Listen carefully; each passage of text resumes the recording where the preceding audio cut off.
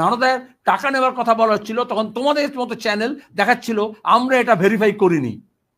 যখন ঘুষ নেওয়ার টাকা দেখাচ্ছি, ছবি দেখাচ্ছিলে আর এখন যখন মমতা ব্যানার্জি বা অভিষেকের নামে যখন প্রশ্ন তুলছে সিপিএম সম্পর্কে, তখন তোমাদেরও এরকম স্ট্যাচুটারি ওয়ার্নিং দেওয়া উচিত আগে যে আমরা এটা মমতা বলছে, অভিষেক বলছে, কিন্তু আমরা এটা সত্যতা জানি না।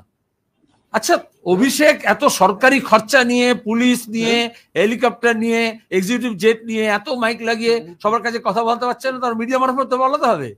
তারপর আমার মারফত বলাতে হবে। আমি আবার বলছি, এই যে পশ্চিমবঙ্গের অবস্থা এরকম হয়েছে, খবরের কাগজ এবং টেলিভিশন চ্যানেলগুলোর বিজ্ঞাপনে খবর ঢেকে যাচ্ছে। আর তার দৌলতে প্রশ্ন ঢেকে যাচ্ছে।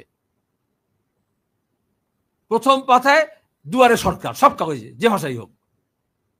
যেখানে দুয়ারে সরকারকে দেখা যাচ্ছে না, সরকারের দুয়ারে লোক দেখা যাচ্ছে না, দুয়ারে সরকারের বুথে লোক যাচ্ছে না, কিন্তু সব কাগজে প্রথম পাতায় দুয়ারে সরকার আছে আর ভেতরে সেই সংক্রান্ত খবর আছে।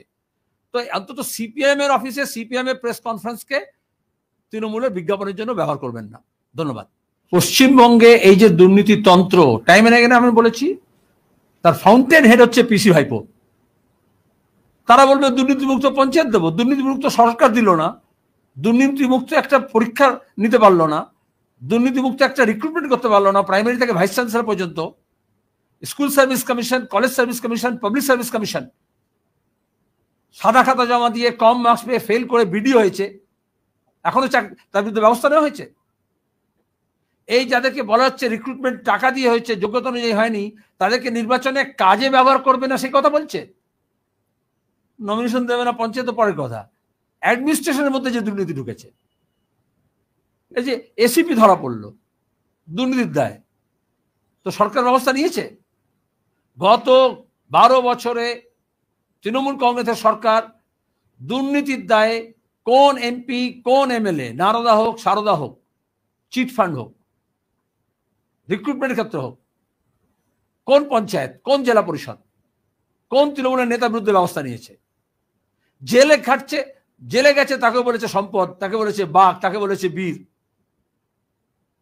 তাহলে এখন হঠাৎ করে বলে দেবে, আগামী পঞ্চায়েতে আমরা দুর্নীতি মুক্ত করব না। আগে কেউ দিব্যি ছিল নাকি যে আগেগুলো দশ বছর ধরে দুর্নীতি করবেন, তারপরে দুর্নীতি মুক্ত করবেন? আর এখন দাঁড়িয়ে পুরনো কাসুন্দি ঘাটছে কেন? ওরা তো নীল, সাদা রং দিয়ে বাংলার অতীতকে মুছে দিতে চেয়েছিল। আর এখন আবার they to take refuge to the past আমরা যখন আজকে বর্তমানে যে চ্যালেঞ্জ আছে তার মোকাবিলা করে একটা সুন্দর সমৃদ্ধশালী, ঐক্যবদ্ধ বাংলা তৈরি করতে চাইছি। তখন ওরা ইতিহাসে ঢুকছে। কেউ মুঘল সাম্রাজ্যে আর কেউ বাম রাজ্যতে বর্তমানে চ্যালেঞ্জ ভবিষ্যতের জন্য লড়াই। সেটা সর্বনাশ করছে ওরা। আর কিছু একটা বলার আগে, কারোর নাম ধরে, কারোর পার্টির নাম ধরে বললে আগে প্রমাণ চাই আমরা। বারো বছর ধরে সিআইডি পুলিশ কি করেছে? সরকার কি করেছে? কেন বস্তাবাচ অভিযোগ করা হচ্ছে? কোন অভিযোগকে প্রমাণ করেছে? এগুলো প্রেস কনফারেন্স করে কোন একজন আসামি বলতে পারে। কিন্তু মিডিয়া যখন একটা কোনো জিনিস যখন নারদায় টাকা নেওয়ার কথা বলা হচ্ছিল, তখন তোমাদের মতো চ্যানেল দেখাচ্ছিল, আমরা এটা ভেরিফাই করিনি। যখন ঘুষ নেওয়ার টাকা দেখাচ্ছি, ছবি দেখাচ্ছিলে।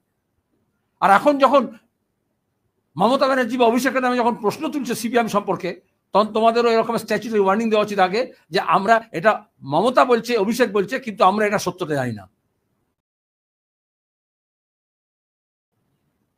তোমার ডকুমেন্টারি এভিডেন্স ছিল, তখন তুমি বলো বলেছ স্ট্যাচুটারি ওয়ার্নিং আমরা ভেরিফাই করিনি। আর এখন যখন ওয়াইল্ড অ্যালিগেশন হচ্ছে, তখন তোমরা সার্কুলেট করছ। কেন স্ট্যাচুটারি ওয়ার্নিং দিচ্ছ না? যেটা ওদের অভিযোগ, আমরা এটা সততা জানি না। এটা বলতে হবে, তারপরে পথে প্রশ্ন করবে। ধন্যবাদ।